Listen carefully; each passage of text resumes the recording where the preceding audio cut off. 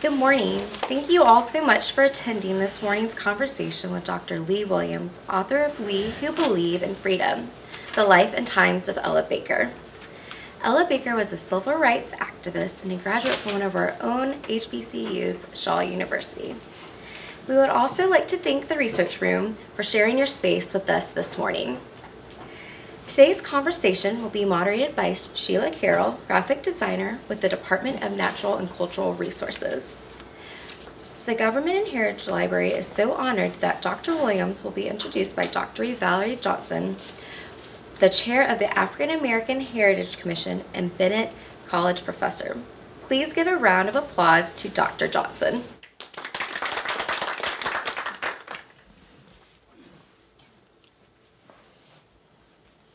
Good morning, everyone. Glad to see you, glad to be here, and thank you so much for that wonderful um, introduction. I am very pleased and honored to be able to introduce Lea Williams, Dr. Lea E. Williams, to you today. Um, we met each other maybe several years ago and have been in contact back and forth, and I can tell you that she has graciously um, honored our class with being able to come to visit Bennett College's class. It's a course on gender, race, and activism on Wednesday, mm -hmm. the 20th. Mm-hmm. And there the students have been reading the book, We Who Believe in Freedom. And so it'll be interesting to see their take on the book. And they've been charged with doing a lesson plan for middle college students. We have a middle college, middle high school students there at Bennett. So, with all that being said, let me introduce Lea formally. Dr. Williams is an author, educator, and teacher who began her career teaching with grade, teaching sixth grade in Milwaukee, then moved into higher education administration at the United Negro College Fund headquarters in New York City. And that is a wonderful story if you get a chance to hear that. She relocated to Greensboro, North Carolina as an administrator at Bennett College. Williams organized and directed the National African American Women's Leadership Institute, a leadership program for women focused on community service. And we still have remnants of your um, tenure at Bennett College in our new kind of revision women's leadership program. So we're drawing on the shoulders, on your shoulders. Currently, she teaches English to speakers of other languages, ESOL, at Guilford Technical Community College. Dr. Williams is the author of three books and dozens of articles on education. Her books include Servants of the People, the 1960s Legacy of African American Leadership, which profiles individuals who were prominent in the 1960s civil rights movement. Her newest book, We Who Believe in Freedom, The Life and Times of Ella Baker, is a juvenile biography for middle school and high school students competitively selected, We Who Believe in Freedom is the second in a series, True Tales for Young Readers, published by the North Carolina Office of Archives and History. In 2019, the Baker biography received a Making Digital Progress Award from the Library Journal. In community service, Dr. Williams has served as president of the Friends of the Greensboro Public Library and on the boards of numerous nonprofit organizations, including the Community Foundation of Greater Greensboro, Greensboro Community TV, and the Greensboro History Museum. I am pleased to introduce Lea Williams.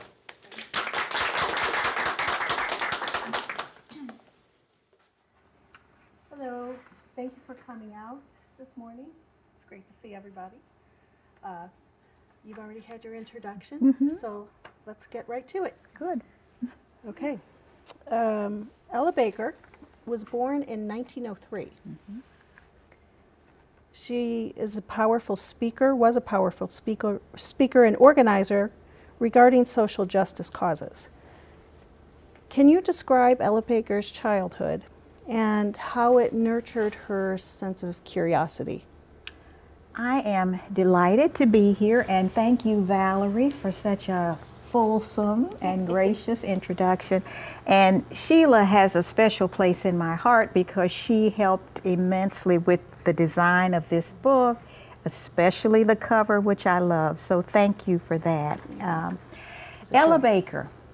Uh, I'm always delighted to talk about her because through biography, I think we get to know people in a very special way. And uh, Ella Baker was one of those behind the scenes people mm-hmm. during the civil rights movement. And she didn't always get a lot of credit uh, for what she did.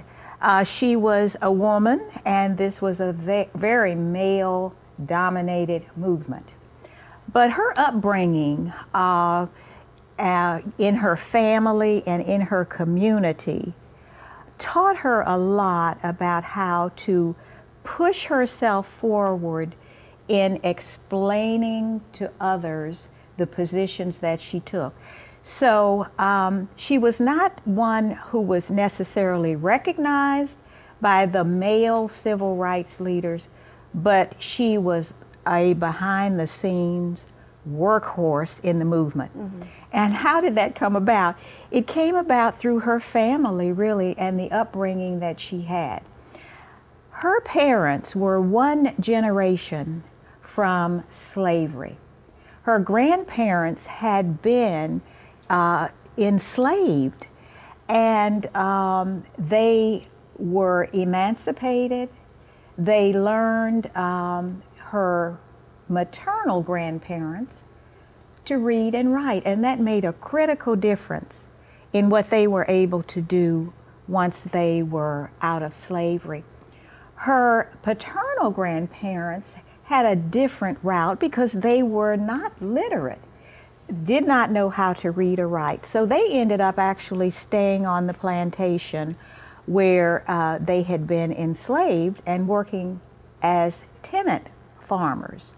But Ella Baker's maternal grandparents were actually able to acquire land, about 50 acres of land, and so they prospered more.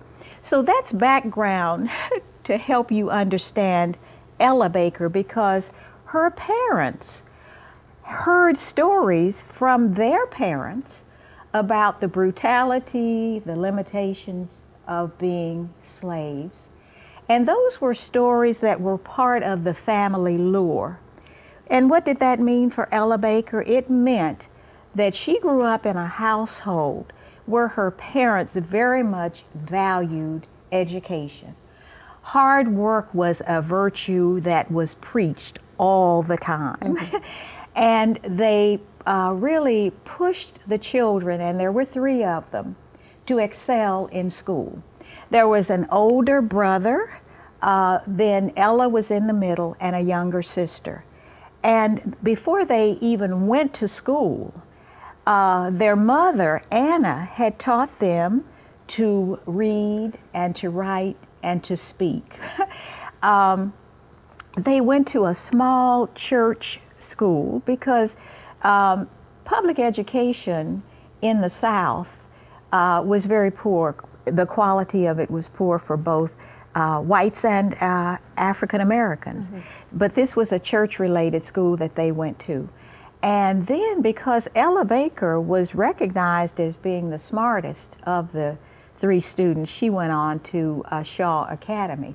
But she grew up in this very nurturing household uh, with parents and grandparents who, frankly, doted on her.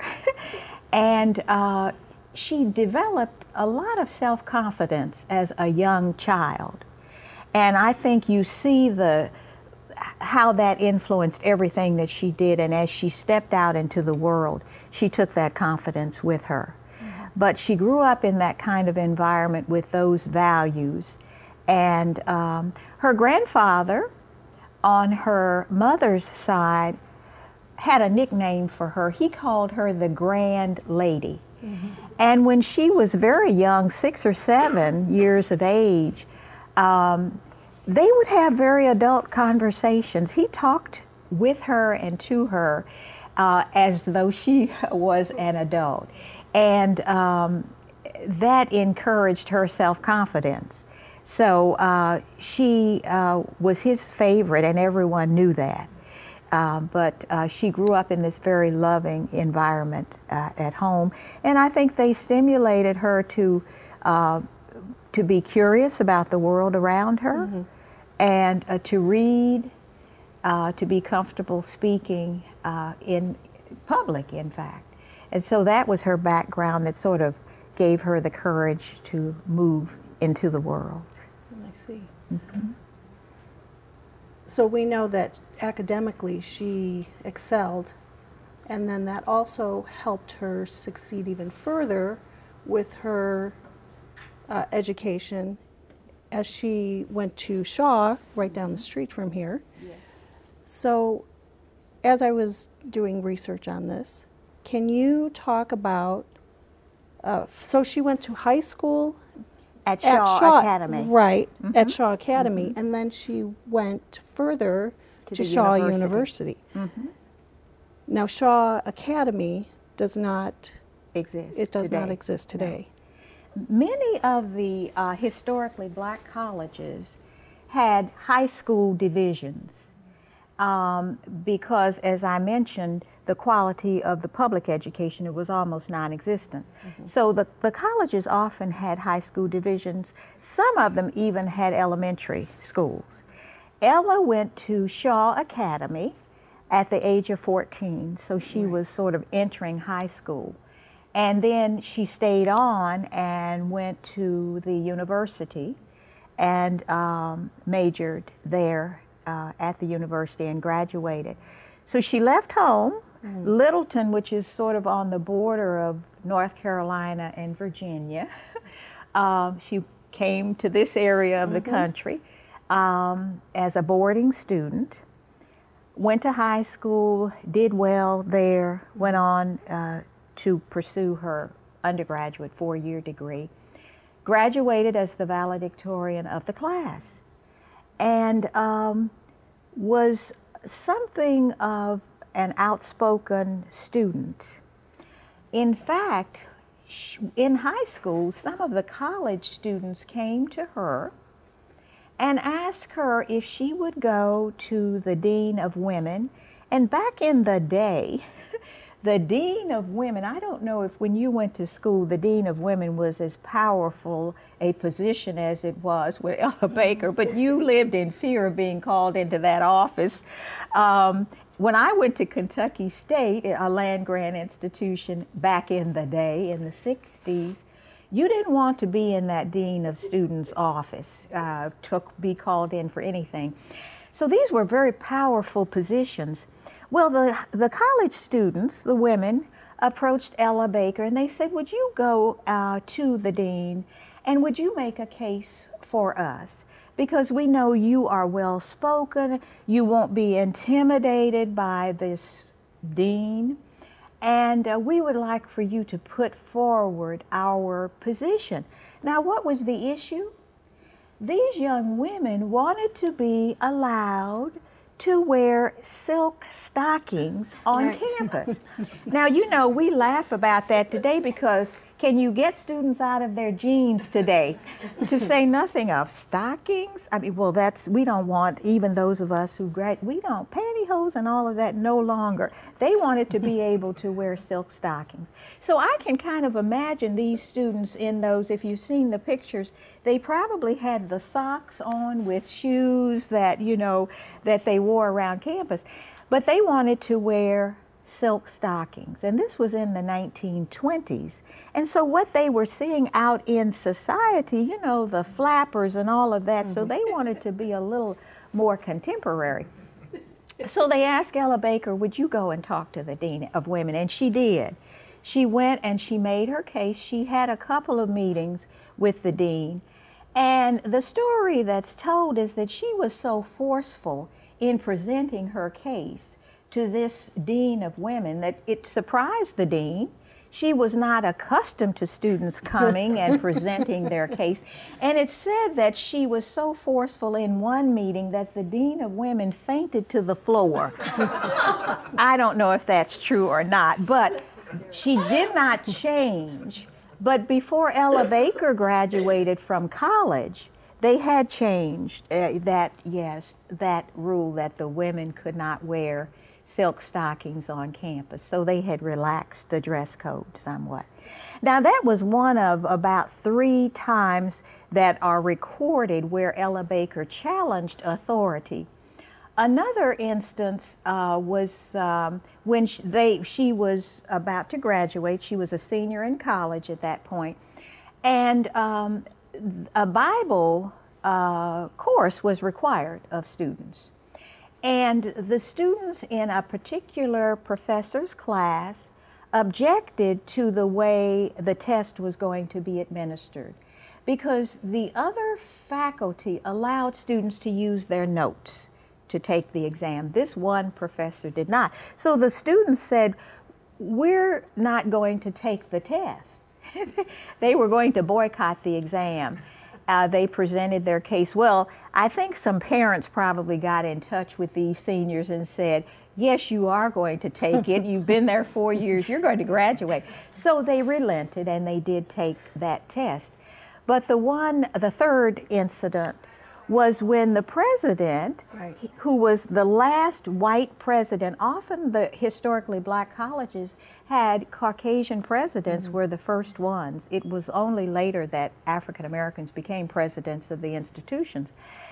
Um, he, uh, when there were northern visitors coming to campus, um, he would often request that the students would sing for these dignitaries but he wanted them to sing Negro spirituals. And you might know that Fisk University was famous. Its choir went around the world, in fact, singing and raising money for the institution. Well, some of the students didn't particularly like that they were being asked to sing only spirituals. Mm-hmm. And so uh, when the president asked Ella if she would lead a song, she very politely forcefully and directly said, No, Mr. President, I will not. Mm-hmm. and she did not. So she was outspoken from the beginning.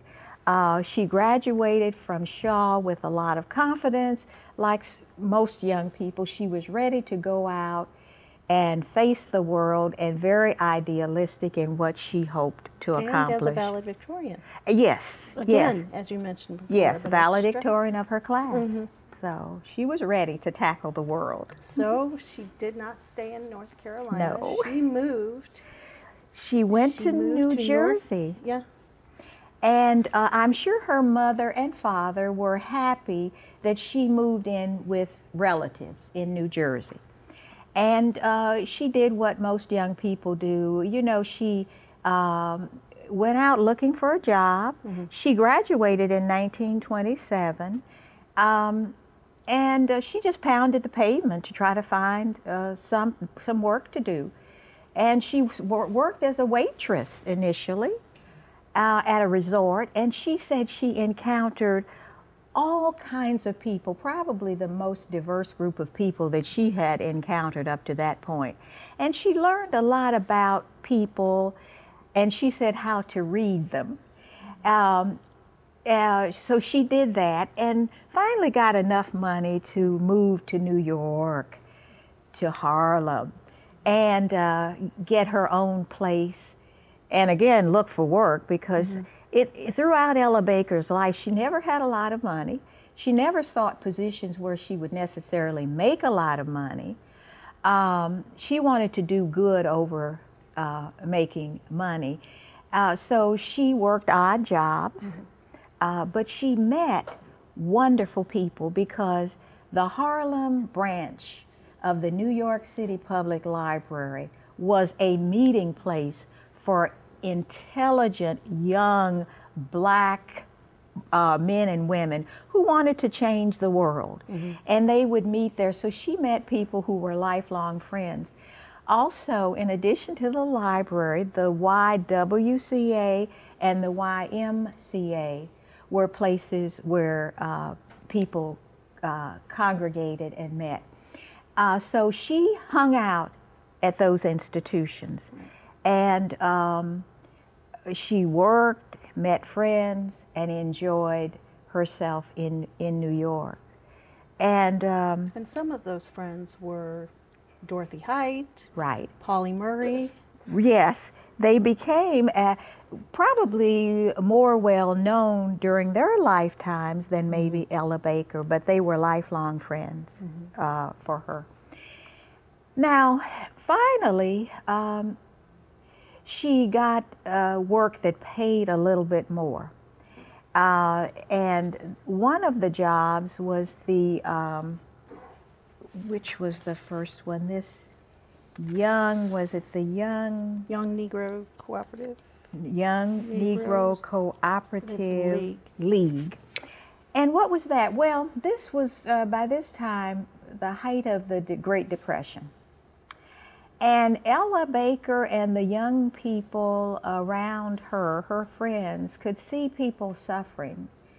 Uh, especially in Harlem, you know, there were long soup lines, there were homeless families, there were people who would go through garbage cans to try to find food to eat. And so George Schuyler was a very well known African American journalist. And uh, these young people were in his circle. He uh, talked about uh, social activism. And so they had the idea to form this cooperative. And it worked like cooperatives do today. People would buy shares in the cooperative, they would do all of the work. you know, they would um, uh, fill the shelves and they would ring up the, the purchases. Um, so they would buy food in bulk, and then the people who were members of the club would purchase it at reduced prices. They had that in Harlem, and then they were starting them all over the country. And Ella Baker was the first director of the co- cooperative. And she worked very hard as always. Any job that she took on, she took it on with uh, a great deal of seriousness. It only lasted two years, uh, but in that time, you begin to see the stamp that Ella Baker puts on any organization or program that she's a part of.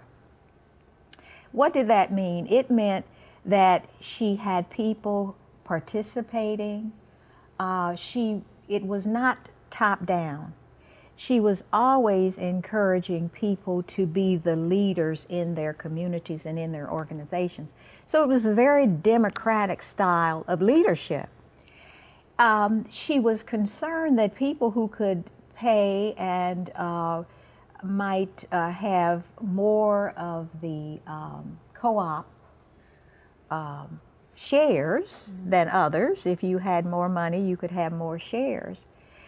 But she said it doesn't matter how many shares you're able to buy, everybody has one vote.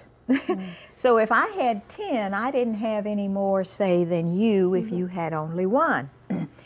Uh, but they had one vote. And she made sure in the cooperatives that the women's voices were not silent and that the young people had a voice as well. And these were kind of hallmarks of any program that Ella Baker ran or was involved in from that time on. Uh, so uh, uh, they had this cooperative. It lasted for about two years, uh, but she was director of it. So again, you see this leadership. She ha- was always recognized for her leadership ability, and she became very skillful in organizing people. Uh, so wherever she went, that was sort of a trademark of of, of, of her success mm-hmm. in, in organizations. Great. Mm-hmm. So she also, we can see her, her love for young people, even in the Young People's Forum at the Harlem Branch Library. Mm-hmm. And that was in 1934. And that was about four years after the cooperative. This was a program that was more an idea in the minds of the people at the library. And they gave it to Ella Baker. They hired her, gave it to her, and told her to go forth and do great things with it. Mm-hmm. and that's exactly what she was able to do. Because she, um, having valued education all of her life, mm-hmm. she brought that to the program. Mm-hmm. She exposed the youth in Harlem to people in their community who were prominent. She had them come and speak. She introduced the students to great books for them to read. She sponsored programs for them so that they had some vision of what was going on in the larger world. When I went to um, New York to go to graduate school in the early 70s, one of the things that surprised me was that even then, and I went to Teachers College Columbia, which was right on the cusp of Harlem, mm-hmm. um, that some of the students and young people in Harlem never got beyond their neighborhoods. You know, you think of jumping on the subway or the, a, a, bus and you can get to Fifth Avenue. They stayed right in those neighborhoods. You can imagine in the 30s, there were young people who had not ventured beyond their neighborhood in Harlem. She took them beyond that. They saw a larger world. Um, so they had that exposure. And then she did something else that was a little unique for organizations then and as well as today. She invited other organizations to be part of the programs. So she had the she uh, had outreach to other organizations. She didn't see them necessarily as being competitors. Mm-hmm. She would invite them to be part of her programs, which strengthened what she was doing. And so that program uh, became a kind of signature program for the library. And it was because of Ella Baker and what she was able to do with the, with the program. So then she took those same qualities and in 1940 she became the assistant field secretary for the national office of the NAACP. Mm-hmm. And then in 43, three years later, she became national director of all of the branches to go from three years to assistant field secretary to director mm-hmm. of all branches in the country says something in mm-hmm. itself. But what you've also touched on, and I'm sure is what she's bringing in, is the sense of autonomy and the group centered approach mm-hmm. to all of her. Uh, that's her signature style. Mm-hmm. So, how did she go about doing this? I mean, that's Mm-hmm. admirable. Especially with, with, with, right, the NAACP. Again, these were male dominated civil rights organizations, and the NAACP was just the granddaddy of them all. Mm-hmm. And they pretty much uh, decided how programs were going to go in the branches. It's very top down leadership. And Ella Baker was just the opposite. She wanted it to bubble up from the, mm-hmm. the grassroots. I don't know necessarily where she saw that that worked well the very first mm-hmm. time, mm-hmm. but she knew that was the, the, the way things worked best. And probably it was because she learned to listen to people. Mm-hmm. So when she would go to the branches, and yes, having this job as the national director of branches across the country meant that she knew all of these uh, NAACP branches. And she traveled to them because the NAACP is a membership organization as it is today. It depends on people joining. They get dues and they're able to, uh, to uh, plan and execute programs from those funds. Mm-hmm. They also send a portion to the national office as well. So having members is key. And Ella Baker was just very good at uh, helping the branches to increase their memberships. Um, when she went in, she didn't take necessarily the programs from the national office. She would go to a branch, she would identify those people who were natural leaders. She would listen to what they had to say, how they wanted to grow the membership, and then she would help them do that. Okay. Uh, so she listened. And then an important part of any program that she ran was to develop the skills that people needed because she wanted them to have skills that remained in the community through these grassroots leaders so that when the NAACP person left, the skills didn't go with them. They were there in the community. Um, so she would always have a leadership workshop component to whatever she was doing. She listened to what people wanted to do and she let that guide the programs that they developed. She would go into unconventional places. Now, the NAACP, all right, it's this organization that has a certain way of doing programs. They also fought for rights for African Americans in the courts so that they didn't really initially even like what Martin Luther King was doing because he had black people out in the streets marching. They thought that was rather undignified. You bring a case to the court, and the NAACP had been doing that since the 30s, and you build uh, case law, and that's how you get to 54 with the Brown decision. So here's the NAACP. Ella Baker is working for it. They would go into a community, they would meet in a church. Uh, Ella Baker went into the community. She would meet at the barber shop. She would go to the pool room. She went to the bar. She would go to the beauty sh- uh, uh, shop. They thought that was just undignified, but she knew that's where they would find, she would find the people, she would find the leaders, and those were the people in that community that other people would listen to. She was able to grow the membership uh, manyfold.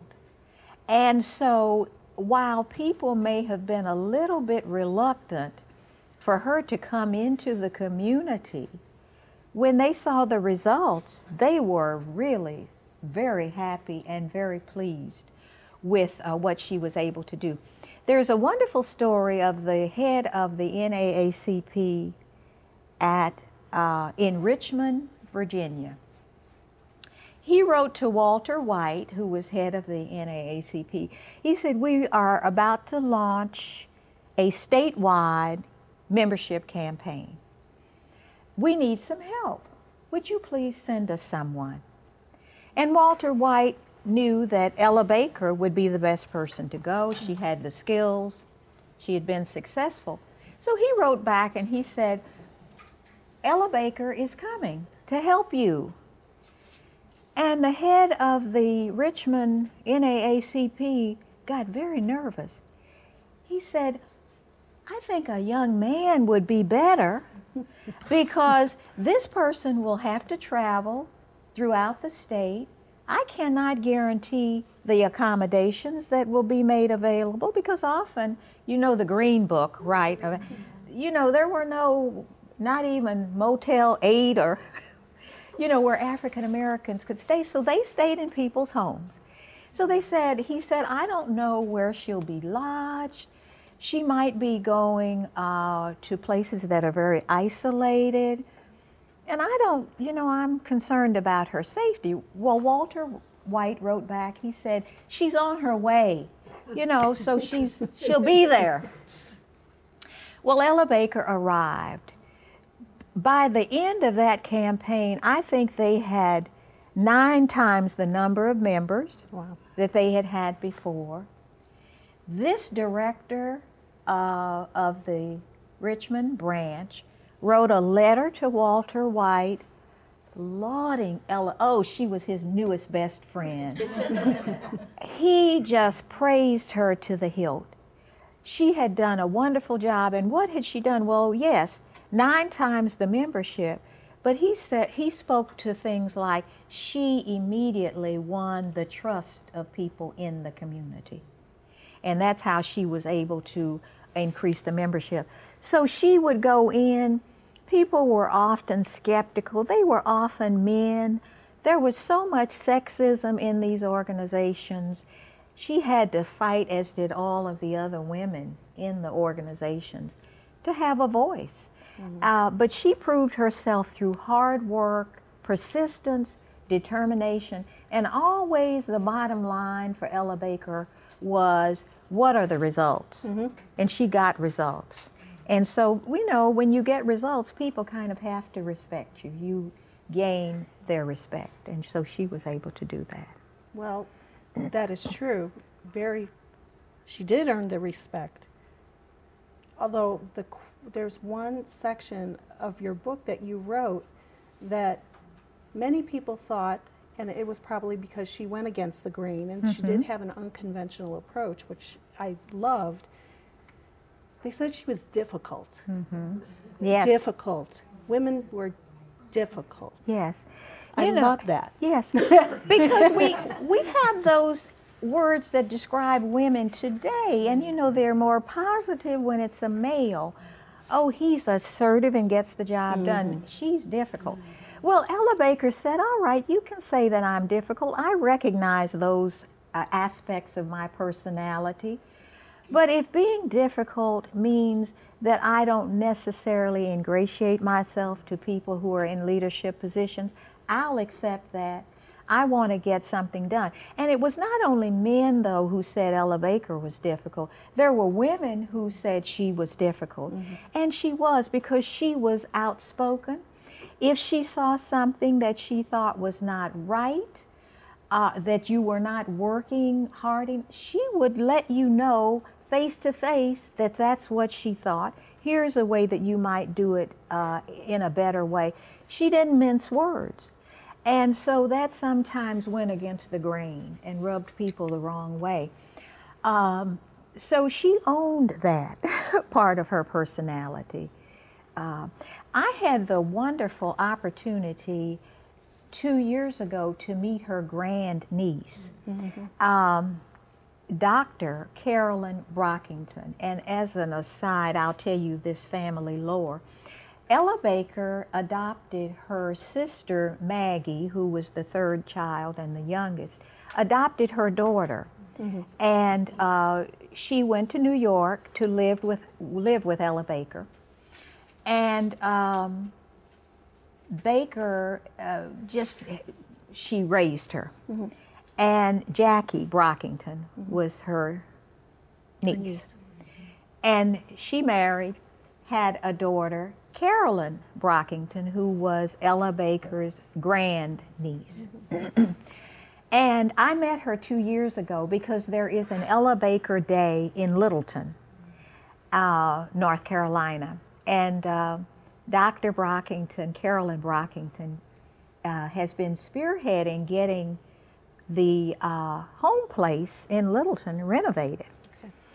And uh, she's a wonderful, so many characteristics of Ella Baker, an unassuming person who heads the stroke center at Mount Sinai Hospital in New York. Wow.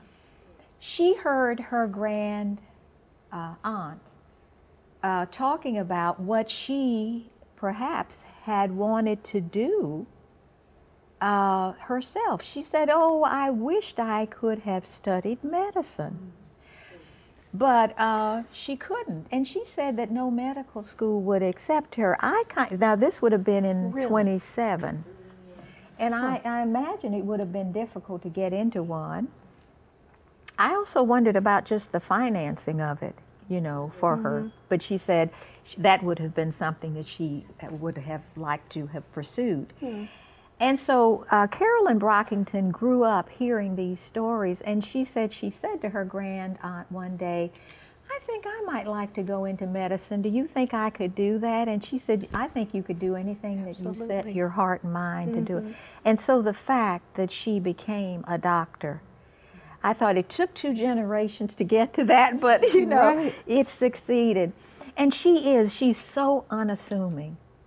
Uh, when we go to, and my sister and I went to uh, the first Ella Baker Day, and we saw her then last year at the, she greeted us like we were family. I mean, she was just, she's the most wonderful person. And she talks uh, about the stories, uh, shares stories of what she learned from her aunt. Uh, and it's wonderful. So it brought it to Ella Baker really to life. And she didn't see her as difficult. Oh, she didn't see her as difficult. No, she did not see her. She was a loving Yes. grand aunt to I'm her. sure she was. That's wonderful. Okay, I'm going to have to read this, so pardon me. I don't just don't want to make sure that I don't get this wrong. Uh, Ella Baker was part of the Southern Christian Leadership Conference, and can you talk about her involvement coordinating, and here's where I have to read this, the logistics at the prayer pil- pilgrimage, Pilgrimage, mm-hmm. for freedom at the Lincoln Memorial on May 17th, 1957? Mm-hmm. Well, let me give you the background of how she mm-hmm. got involved. The Southern Christian Leadership Conference was the organization that Martin Luther King and other ministers uh, wanted to create. They didn't know what the name was going to be. They knew that after the Montgomery bus boycott was so successful, that they wanted to continue that kind of initiative.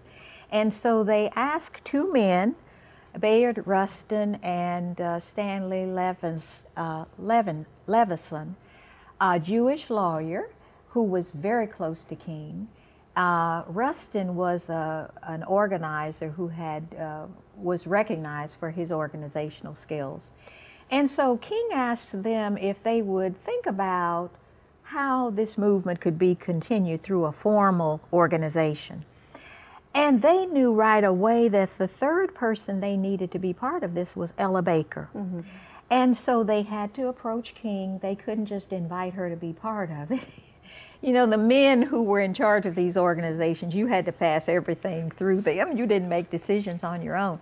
So he's, they said to uh, King, they approached uh, Dr. King and said, Well, we want to bring Ella Baker into this. He was reluctant to have a woman involved in this, um, his organization, what was going to be his. But they they said she's got the skills and she's got the networks because she's worked throughout the South through the NAACP. So he relented and he said, "Okay." Well, she helped them draw up. The three of them drew up the blueprint for what became the Southern Christian Leadership Conference, and um, she ran. She was the first paid staff person Right. She ran the office, she did the programs, and this prayer vigil was the first major event they were to have. It was on the third anniversary, anniversary of the Brown decision. It was in 54, it was March, uh, May 17, 1957, three years after Brown. And it was not really clear what their objectives were. You know, they just knew it would be nice to be in Washington, D.C., to um, meet in the nation's capital, to bring people together around civil rights organizations, but they hadn't really outlined clearly the objectives. Ella Baker went ahead, she worked on it and got uh, some 25 to 30,000 people to come out on that day. King made a uh, major moving speech. He was invited by Vice President Nixon um, to meet with him later. And uh, as a result, and we think of civil rights acts as probably being the uh, 1964 and 65 uh, acts, but they were trying to pass civil rights acts for a number of decades. And in 57, there was one that had been pending in Congress that was finally passed after this prayer vigil and the work that was done toward that. Because one of the things King said to Nixon is that we need to get this Civil Rights Act passed. And so they did. So some good things came out of that. And Ella Baker was the one who organized it. Now, she was doing all of the staff work, she was doing the programming they decided, okay, it's now time for us to have um, a director. And so they went out and conducted a search. They never once thought about having Ella Baker fill that position. Uh, they hired someone, the person came in and I think was there for less than a year. It was not a good fit. They hired a minister. These ministers, you know, their network was always minister. So they hired someone and the person wanted to, I think he was from Virginia, he wanted to stay to keep his church and to try to run the organization as well. Didn't do a good job. So he left in short order. They instituted a second search. They made Ella Baker the interim director, but again, she was never considered for that position. So they hired another man to, uh, uh, to be the director. Yet they asked her if she would help with this citizens campaign, which was another major event that they wanted to have. It was to uh, launch this citizenship uh, campaign to get African Americans to vote. They announced it in October and they wanted to have it in March. So she had about six months to pull this all together. And again, she was successful because she had this wide network of do, in, in doing that. But um, their programs were usually a success because of her. But she was seen as, you know, you're behind the scenes mm-hmm. working, mm-hmm. you do all the grunt work. um, the men will be out front. And it was hard to organize things at that time. There weren't, there wasn't email. Uh, you couldn't text anybody. Right. That's right. You didn't have the instant gratification that you do now. Exactly. You had to write a letter and mm-hmm. put a mm-hmm. stamp on it and mail it out. Right. Hope that it comes. Yeah. exactly. It was much harder. And long six distance Six months is not a long time. It's not a long time. Right. We're expensive. You know, it was just, yes. Mm-hmm. You're absolutely right. And so that was a lot uh, to accomplish in mm. a very short time. Yes. So, so that was. Um, she made it happen. She did. She made it happen. But you know, whenever Ella Baker uh, worked at an organization like the NAACP and SCLC, she worked hard, but at, there at a point, and this is where the difficult came in, if she got fed up, she would leave. and it didn't matter that she didn't have a lot of money in the bank. She just decided these folks are not going in the direction that I think they should be. The way they are, uh, they organize their programs and what they want to do. I don't think it's it's um, it's efficient. It's mm-hmm. effective, and so I'm just going to look for a next thing to do. Greener pastures. Mm-hmm. And she would do that, which really led as uh, SNCC. Is that? I was just the next thing. So, because I think if if you ask Ella Baker, SNCC, the Student Nonviolent, Nonviolent Coordinating, Coordinating Committee, was probably the organization that she loved best because it was a student organization. Now, she was still at SCLC February 1, 1960, when four students from uh, North Carolina College decided they would walk downtown to the Woolworth store. They went in, they purchased a few uh, supplies, had their receipt. They took it to the lunch counter. They sat down and they tried to order coffee. The uh, waitresses said, We cannot serve you. They said, Well, we purchased other goods in the store. We've spent our money. Why can't we sit down and eat?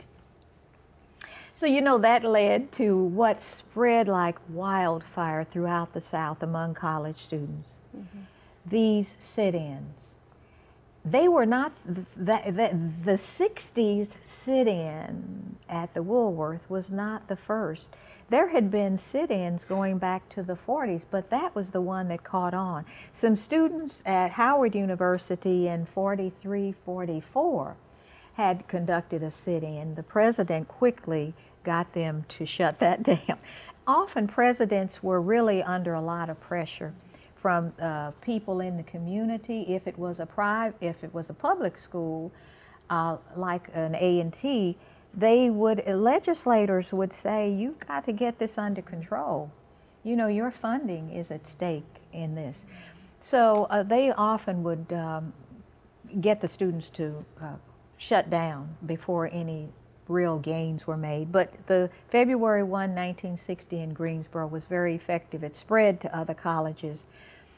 And the people at NAACP and SCLC they looked around, they saw these young people, they said, well, they're not part of us. What's going on? And they were effective. Uh, Roy Wilkins, who was at that time head of the NAACP, he said, Who are these young people? He said, You can't tell them anything because they had been in touch with them, you know. They, uh, they don't listen to adults. They do what they want to do. Uh, and uh, they were kind of outraged at these young people. They tried to get them to organize under the NAACP, under SCLC, but um, they weren't buying into that. Ella Baker was looking, and she got in touch with the leaders. She said, Well, they've been effective with these sit ins, but these are young people. I don't think they necessarily have the leadership skills to keep this going. They may not understand the philosophy and history of the movement. They just knew that they were sick and tired of not being able to go to the lunch counter. Mm-hmm. Um, so she contacted them, and they sat in February 1. She convened a conference at Shaw uh, in April during the spring break. She got the SCLC, King's organization, to provide $800 to underwrite this conference. She asked Dr. King if he would uh, sign the letter of invitation mm-hmm. and speak. And he, and he, agreed to do that. Uh, she thought, well, maybe we'll get 100 students. They ended up getting, I think, 300 who came from all over. They were able to network um, to get to know one another, to uh, map out strategies for how they would go the next step. And um, Ella Baker said, You might not necessarily want to join, come in under the umbrella of NAACP or SCLC. Why don't you think about forming your own organization? And so they met again a second time in May in Atlanta at the SCLC headquarters. And that's when they decided to form their own organization, the uh, Student Nonviolent Coordinating Committee.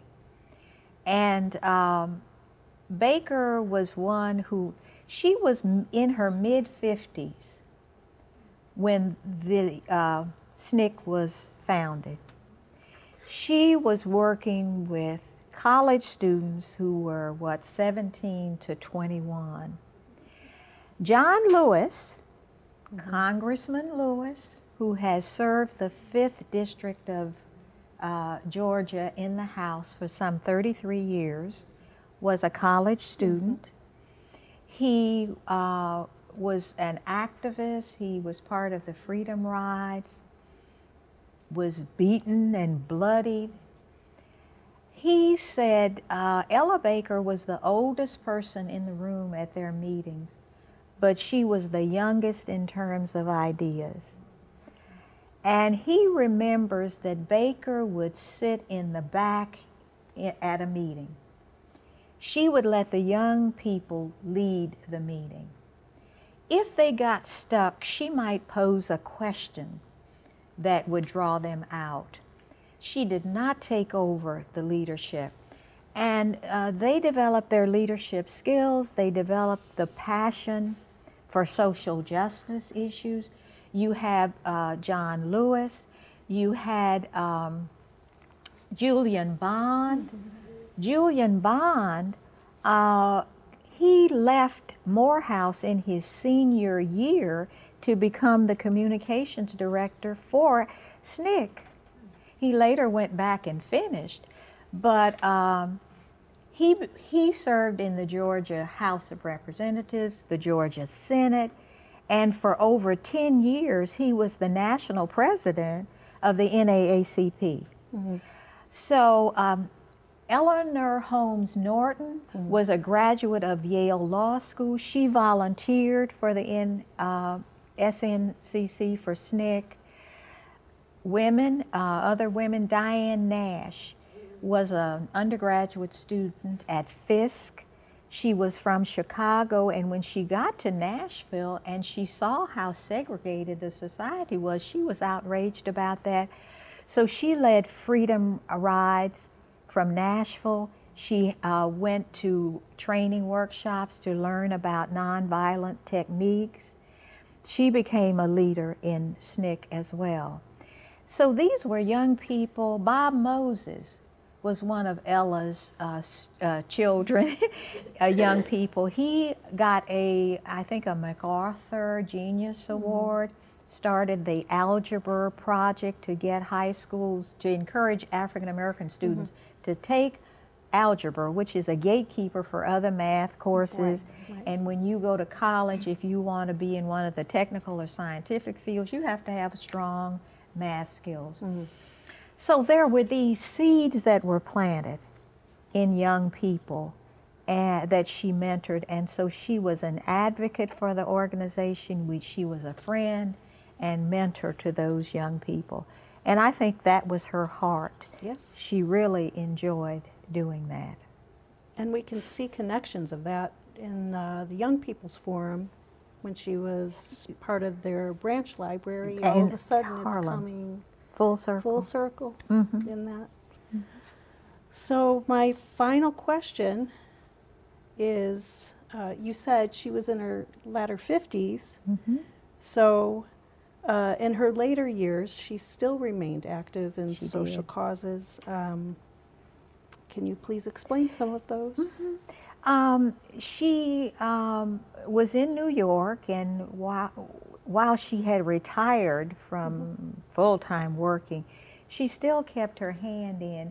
She worked um, with the Mississippi Freedom Democratic Party, which had been founded by Fannie Lou Hamer and some other activists in Mississippi. She was also part of the campaign to free Angela Davis. Mm-hmm. so she kept her hand in very much in social justice causes uh, throughout her life. She um, suffered from dementia in her later years. She uh, died in 1986. Uh, she died uh, on December 13th which was her birthday in uh, 1986 um, at the age of 83. And the apartment that she had in New York, if you know anything about New York and apartments, her grand niece, Dr. Brockington, lives in that same apartment. Oh, that's awesome. Yeah, because you know, rent stabilized mm-hmm. and rent yeah. controlled. And people get in those apartments and they stay forever. so she, her grandniece, is in that very same apartment in in Harlem. Mm-hmm. That is wonderful. So she was active right to the very end. Thank you. Well, thank you for inviting me to talk about Baker. I always enjoy that and uh, I appreciate the opportunity. If anybody has any questions, please feel free. Pipe up. There's one. I have a question. I just want to thank you, Dr. Williams. Um, thank you for your time and your energy today. In addition, I really appreciated how um, you captured Ella Baker as an organizer. Mm-hmm. I think oftentimes when we hear about her, it's simply within the context of the movement, but mm-hmm. um, she was so much more mm-hmm. for um, her entire life, right? Exactly. Before and yes. after. So, so thank you for thank you um, for that comment. blessing us with that knowledge. Mm-hmm. Yeah. Thank you. Thank you. Yeah. You know I'm gonna have a question. please, please, please. So, uh, could you tell us a little bit about um, what got you first interested in Ella Baker and a little bit about your process of writing and gathering the research about okay. her. Oh, I'd be happy to. Um, Sheilah mentioned the first book I wrote, which um, Servants of the People, the 1960s Legacy of African American Leadership. It came out in 1996. I used secondary sources to do the research on the people in that first book. Mm-hmm. I looked for scholarly biographies of them, and there were other materials. Well, in the 1990s, there were very few books that captured the role and lives of women in the movement Fannie Lou Hamer, who was very active in Mississippi, quite a bit had been written about her. Mm-hmm. But I couldn't find any other biographies in 1995 when I was doing the research, except for Fannie Lou Hamer. Well, fast forward to uh, 2008, I guess, is when I discovered biographies for Ella Baker and Septima Clark. Mm-hmm. Septima Clark, if you've seen that wonderful picture book of uh, African American women, Septima Clark is on the cover of it. Um, civil rights icons, and you can look in any library and find it. Well, she worked in South Carolina, taught school at a time when, if you were a member of the NAACP, they outlawed people being part of any civil rights organization in law. Subversive organizations, if you were a school teacher, you couldn't be part of it, and that mm-hmm. NAACP was considered to be subversive. Well, Septima Clark was an officer in the NAACP, and she didn't hide the fact, so they fired her. and uh, it took her 20 years to get her pension reinstated. What? But she went off and she ran citizenship schools for NAACP and SCLC. She'd go throughout the South teaching blacks who had usually uh, maybe very little education how you even filled out a paper ballot. Well, those two women, there were biographies. So I asked if um, I could update the book and include those so that I ended up, the first book had six leaders, one of whom, Fannie Lou Hamer, female. Uh, the updated version had eight because I added Ella and Septima Clark. Mm. So um, I had heard about Ella, I knew her name, but I had no idea how much she had done. And so that's what captured me about her. and um, the research is just reading as much as possible about uh, the people in the book. And the only one I actually met of the, the eight people in the second, uh, the second edition of Servants of the People was Dr. Fred Patterson, who founded the United Negro College Fund. And he was still active when I went to work at the College Fund.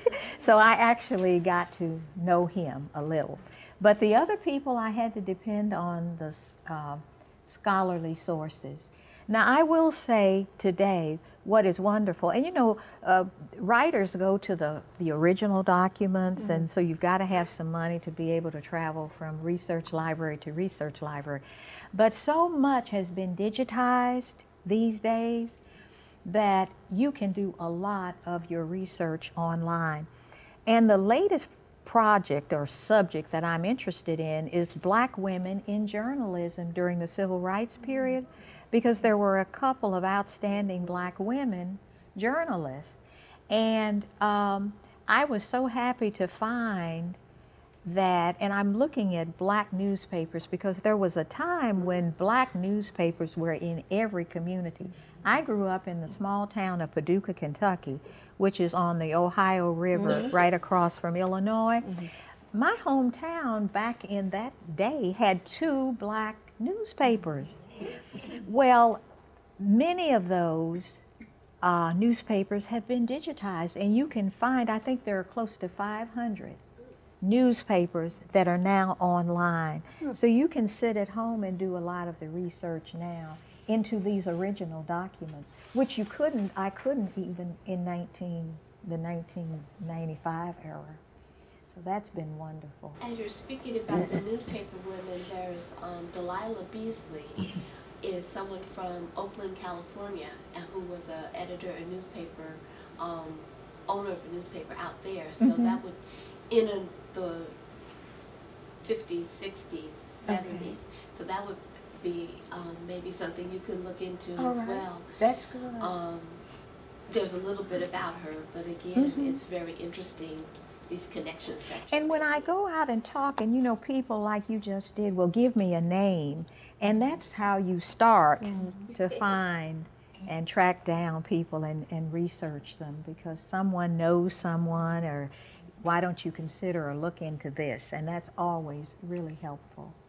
Um, but that's how the process works. Uh, and just doing a lot of the research and um, if you're fortunate enough to meet, as I was, Ella Baker's grand niece, that's just someone who actually knew the person and can tell you about them. Because you really want to do justice to the person's life Yes. And be honest about it and uh, they won't be able to object. So but you know so you want to you have that responsibility. I appreciate that um, little note of ethical responsibility that you're bringing to this because it's so I mean it, it comes through when you read the book. I mean it's good. I love your book. Good good and we're in our first reprint Yes, we're in our first reprint. So listen, this is a bestseller because when I when I published Servants of the People, and uh, St. Martin's Press published it, and I said I was so thrilled to get the letter saying we're interested because I had sent out to ten publishers. And you have to do that to get one, and you're happy about it. I framed the letter. Okay. it's hanging on the wall at home. And so I said to them as we got into the process, I said, Well, how many are you going to run the first They said 500. I thought, I said to my sisters, I know 500 people who will buy it. Why is it such a small run?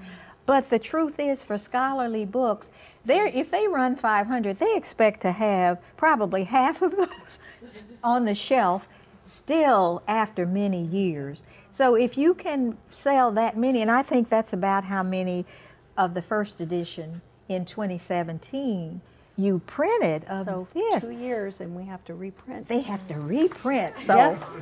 wonderful, wonderful, wonderful. So that's great because you do get to go back and correct those little errors that you find, and no matter how many times you read it, or others. And I, I always, I, a great deal of nervousness when I open the book. You're excited to get the book and you see it. I'm nervous about reading it because I know I'm going to discover some little error that was overlooked. So I got to correct those in this second printing. So if you have the book, you might still want this one. you might want to buy the second one as well. So I'm just grateful to Sheilah and the Office of Archives and History for all you've done to make this a wonderful Oh, I- experience. Love designing this book. well, I learned while I was doing, and there were moments in there that I just was overwhelmed with emotion. Mhm, I closed the door, Yes. you know, yes. and you know, compose myself Thank afterwards. you. I was like, "Wow, this Thank is Thank you. yes, Mhm. justice." Yes. Well, can I have, ask a question? of course. Of you, Sheilah, in terms of designing um, the book, you say a little bit about, can you say a little bit about your process and maybe some of the things that inspired you to um, pull together the images that you did? Because it's also uh, beautifully visual, it's a beautiful Oh, visual thing too.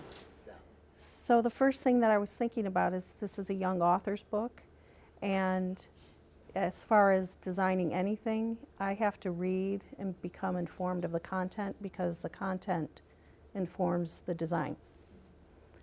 Uh, and then after that, I was looking at the uh, more of the content, and I have to thank a colleague, Annie Miller here. Uh, there are sections within this book uh, talking about uh, tenant farmers and uh, the 19th Amendment and women's voting rights, um, how the, the voting process even occurs. Uh, I was, there's another book prior to this that has certain features, and uh, I was talking with Annie about it, and I said, this book doesn't have this in here. What can we, what can I do about this? And Annie took some of the manuscript and she said, you know, you could talk about this, the Harlem Renaissance, you could talk about this. So uh, it was a collaborative effort. So I, there you go. And Yeah. let me tell you about this cover. It has a wonderful backstory. um, I was looking when I came to talk uh, about the book after it had been accepted, and I was told there would be 30 images that they wanted to have in, and that I would be responsible for getting some. Although I must say, the Office of Archives and History, oh, they did they really researched. I would submit some, and the Library of Congress is so It's wonderful, fabulous. wonderful. Um, but I thought 30, okay. Well, I went online, and you know, you put in Ella Baker. Well, this image came up. Now, the thing about online, those images, the resolution is not uh, high enough for printing. So you can't just take something off of the internet. You've got to, and you want to get permission. Everything you got to get permission for. And um, I saw this and I liked that, and I said, okay. I contacted uh, Robert Shetterly, and he has this whole series called "People Who Tell the Truth." One of which, Ella Baker, and this was 2015. And I said, I'd like to use it in uh, the book somewhere. I was thinking inside. And you ask, I'd like permission. What's it going to cost? So forth. and he said, uh, it won't, I'm not going to charge you. You can use it. And he gave us the line that we have in there that credits. He said, This is what I'd like you to have. And it was about um, people who tell the truth. So we put that in verbatim and this is 2015, he said, My daughter in law is working on a book about black women mathematicians, and it will be coming out at some point, and I think she would be interested in this. And I thought, black women in math, I'm probably not interested in her book. but I hope she'll be interested in mine. well, guess what? Margot Lee Shetterly, Hidden Figures, uh-huh. is his daughter-in-law. Yes, and who, now it gets even better because Greensboro, the library, every other year in the odd year has one city, one book. and in 2017, it was Hidden Figures. And they try desperately, if they can, to get the author to come. Margot Lee Shetterly came. Uh, Sheilah mentioned I had been, I rotated off last year, the board of the Friends of the Greensboro Public Library. So the director of the library said to me, We got Margot Lee Shetterly to come. She was going to be at uh, Dana Auditorium on Guilford, the Guilford College campus. Would you moderate a conversation with her? Get out, really? So I got to interview her for that program. Now she is also unassuming. She was so wonderfully gracious. She was, and it was one of the best interviews because she was, not because I was so good, but because she was so good. So I got to meet her and um, her husband. I've not met her father-in-law, but I met her her husband and I met her. But I think if he had known it was going to end up on the cover, because Sheilah uh, sent me two images. She sent me this one and one of Ella Baker at an older age. yes, this one. And she said, which do you like? And I thought for this book, I'd love this one. So, you know, we selected that. But I've used this, we used it on the cover, because if you're going to use it inside, if people are giving you permission, they probably charge you one price for inside. If it's going to be on the cover, and it, how many will you run? All of mm-hmm. that figures into what the, the price is. But we used it for the cover. I have made business cards and it, bookmarks as well using that image. And it is, it's, I just love it. Mm-hmm. Yeah, it's wonderful. So that's the backstory with that. Any other questions? Um, the book is for sale for cash or um, check, but if you would like to um, buy one today, Sheilah will be able to do that. But can we please give a big round of applause to Dr. Williams and Sheilah and Dr. Johnson? This was the program was phenomenal, um, and we will be doing signings of the book if you would like to. Um, that's it, and we'll be over here in the back of the library. And even if you don't buy a book, feel free to take a bookmark. There's some There's over some there. up there. Exactly. Yeah, feel free to do that. And if you want to buy it uh, at a later date, you can go to uncpress.org. UNC Press distributes our books. So thank you for coming out, everybody. Thank you. Thank you. Thank you.